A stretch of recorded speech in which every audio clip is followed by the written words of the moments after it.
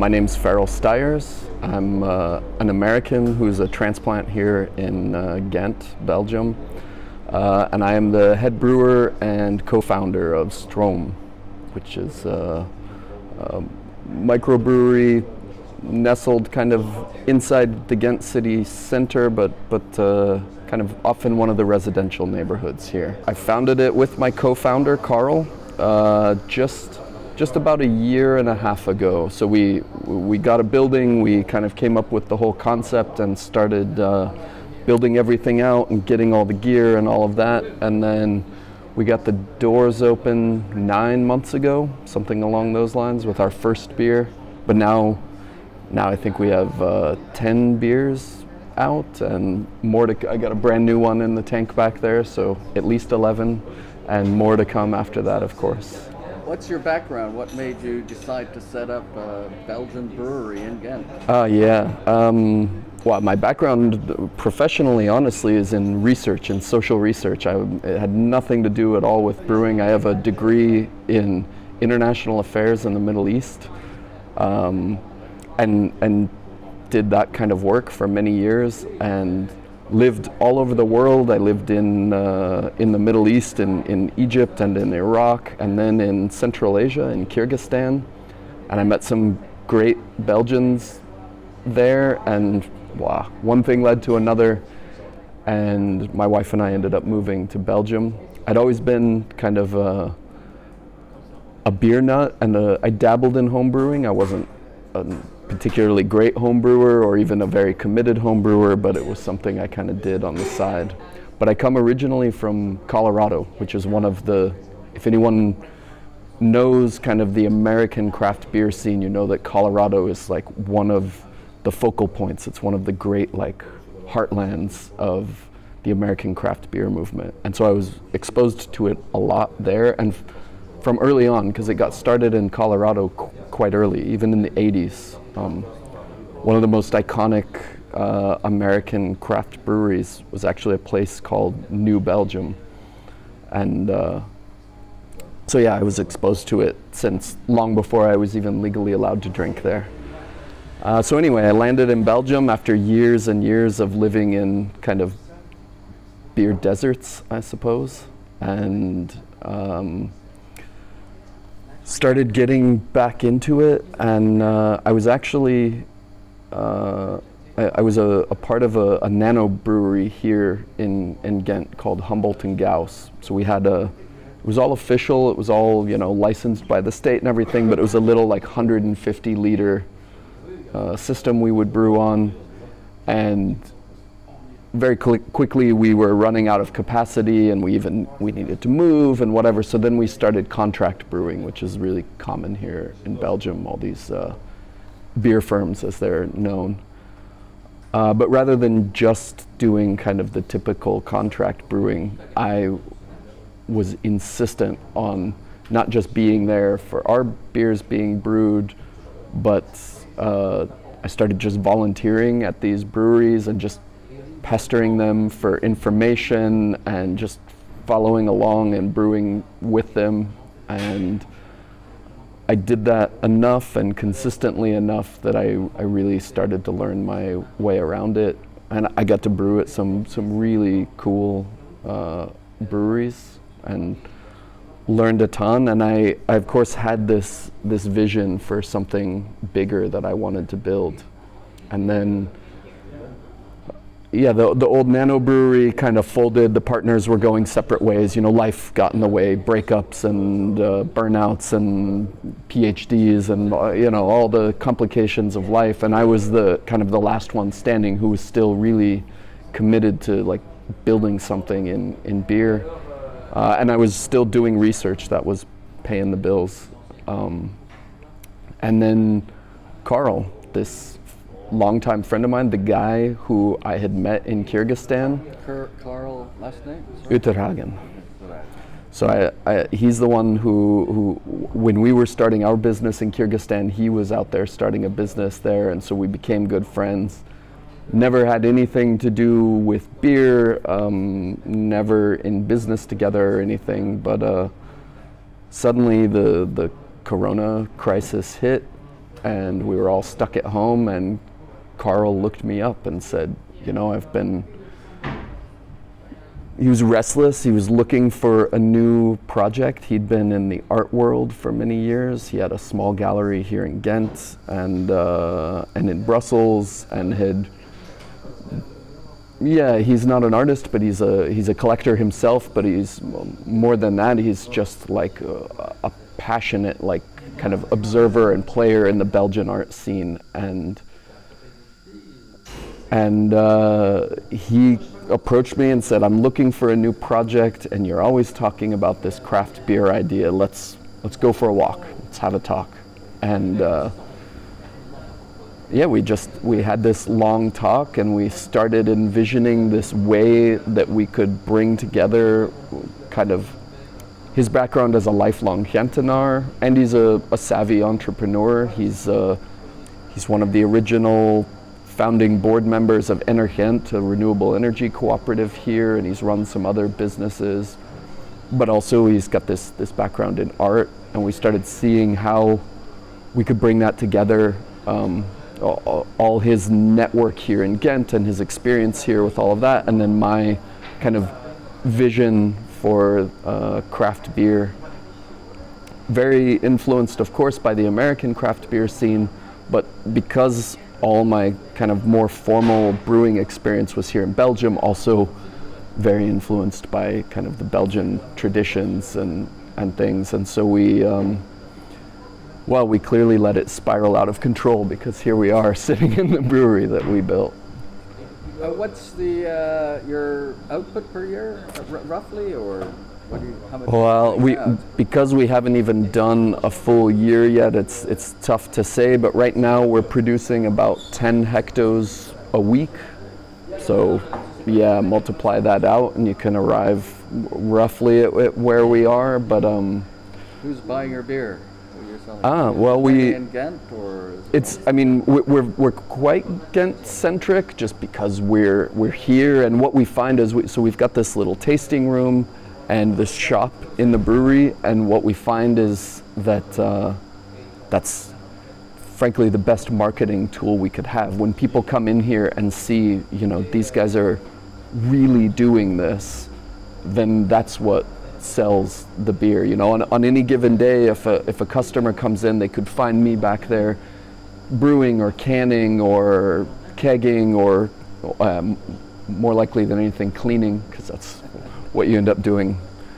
Being a brewer is just being a glorified janitor, frankly. But uh, but you, you know they, they really they see that that this is not just um, we're not just some beer firm. We're not just some guys that slap a sticker with some cutesy name on it and call it our beer. Like we're being really thoughtful about this and, and quite committed. You know, we quit our jobs. Um, we we put a lot of our own personal money into it and and took a really big gamble. And so uh, so what we find is like we've got more customers in Ghent than anywhere else because they're the most likely to come in here and see. And then once they see it and feel it they're more likely to want our beer. Uh, but we're around. We've got some some bars and shops in Antwerp in Brussels uh, now just got into uh, Wallonia for the first time a distributor down there um, but we do uh, a great deal of our business just goes through our little shop that's here in the brewery. So we we uh, we just have a a few fridges and uh, you know a cash register, and people just come in for their their beers to go to to well, either they're buying beer to, to keep at home or even they're just grabbing some beers while they wander off to the park or whatever. Too soon. All right. what's your flagship beer, and would you say your style is? is are you well flagship beer right now? Yeah, I mean, um, uh, it's tough right now. Like we've we've got uh, I think seven beers now that we have been brewing several times. Uh, so those are could perhaps all be called flagships. By far, our best seller, and if there's a beer we're known for, it's uh, Belgian Stars and Stripes, which is a West Coast IPA. I joke often that it's my most unashamedly American beer that I make. It's very influenced by the, the beers I kind of grew up around in Colorado. So all these big, assertive uh, American hops, um, really like citrus and kind of uh, these these bold, kind of fruity hop flavors. It's um, pretty well bittered. If I have any, uh, this this is maybe overstating it to call it a philosophy, but if I have any philosophy in brewing, it's that I believe beers should be properly bittered and properly dried out. I don't like sticky, sweet, under attenuated beers, and I don't like beers with no bittering at all. It doesn't need to be, you know, peel the enamel off your teeth bitter, but it, it needs something back there to kind of uh, straighten things up and dry it out. So this, this beer definitely captures that. And also, I guess uh, the first beer, I think a long time ago, that's why I recognize it was Love when it first uh, yeah, the Love Supreme. Yeah, we did the becoming a big style. Well, we did a a coffee IPA. Yes, it a was, coffee IPA. Yeah, it wasn't it wasn't black, which is shocking to a lot of yeah, people. Yeah, that's what I put it in. So. And that was one that that uh, we were approached by a, a band, quite a, a, a very big, very successful band that I knew very well, um, called the Descendents. We just got really lucky that their tour manager happens to live here in the neighborhood and he'd come into the brewery, was a big fan of the beer, and he hooked us up with the band. And they requested specifically a coffee IPA. And when I first heard that, I thought, like, the hell am I gonna do with like why would you put coffee in an IPA? It's such a weird combination. But then the more I thought about it, the more I thought like, oh, this could be a really interesting challenge as a brewer. And it's it's something that I probably left to my own devices never would have come up with. So I thought like actually that's that's kind of interesting and um, and I was thrilled with how it came out. I uh, I, I went to the roaster. We, so, so we've got a roaster, Van de Kerkhove, that's uh, here in Ghent. Really amazing guy, beautiful roastery, really thoughtful with his coffee. So I knew that would be a, a great choice.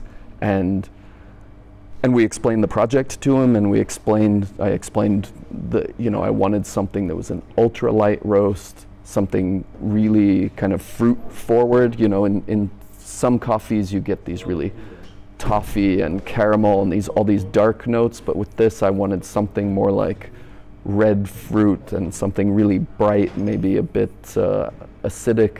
And as little roast as possible and as little of the kind of vegetal. Sometimes with coffee, you can get this like green pepper vegetable flavor. I didn't want any of that, and he he understood immediately. He recommended a specific bean and a specific roast, and I have to say it it matched better than I could have expected.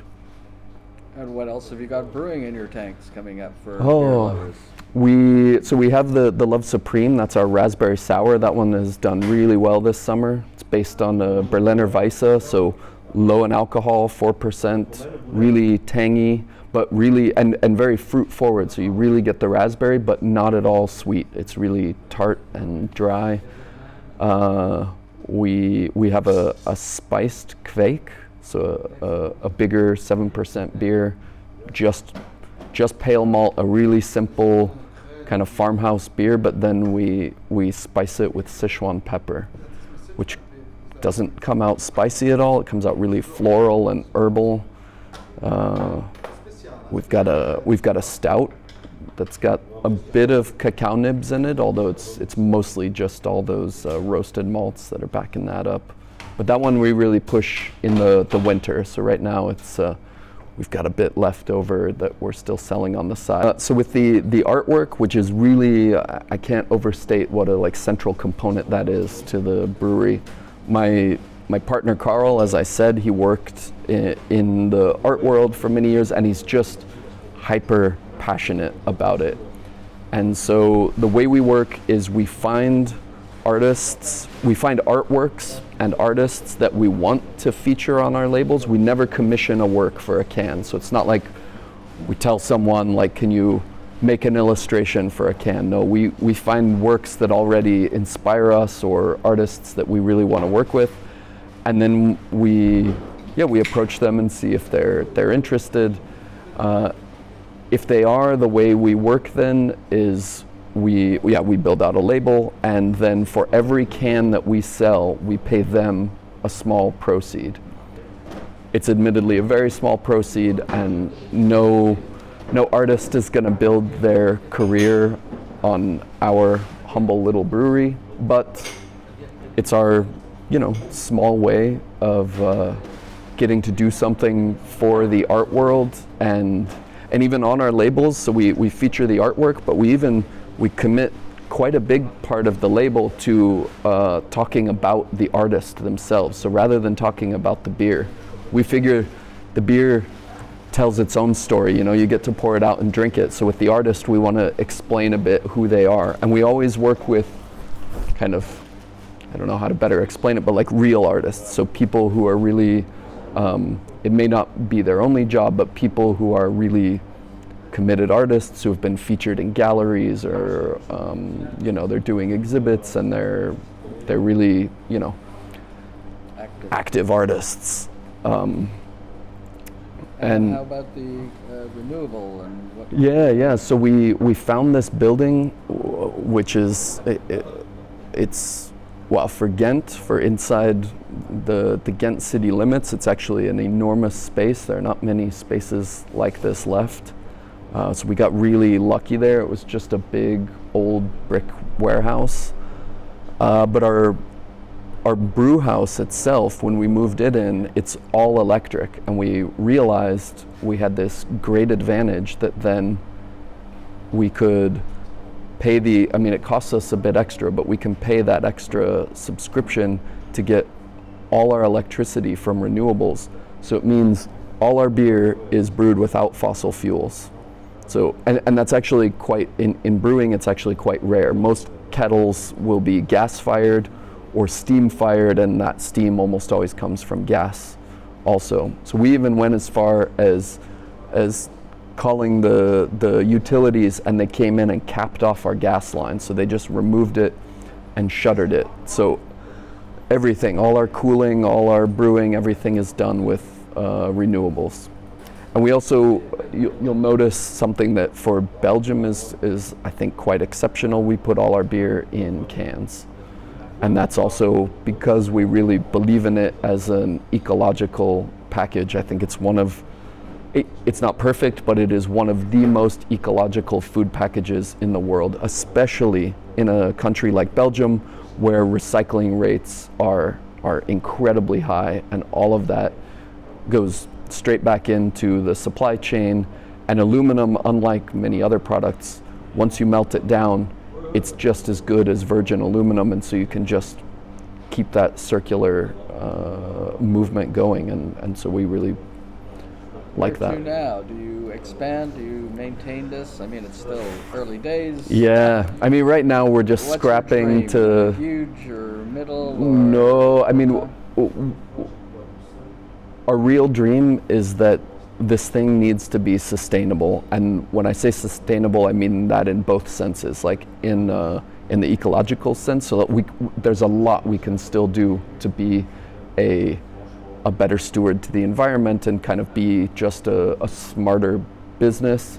But a lot of that, you know, takes time and costs money. Um, but we also need to be sustainable in a business sense. You know, this this thing. Uh, I've got a mortgage. I've got kids. You know, the, we've we've all got expenses and lives to lead. So we need to make sure the business is really uh, running. And frankly, we want to grow enough to make sure those two things are possible and to have that margin so that we can do the really exciting stuff. We would love to get even more involved in with creatives, whether it's uh, artists or musicians or even others. There are all sorts of cool projects we can imagine. We want to do more things like like we've got a project right now with the the city with the neighborhood where we've got people growing hops in both public and private spaces all through the city as a way to help